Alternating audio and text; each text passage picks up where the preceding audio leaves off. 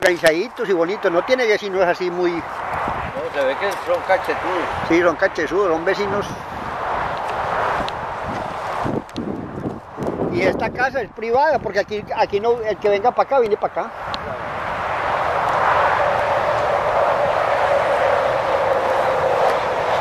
Es la verdad. Yo cierro.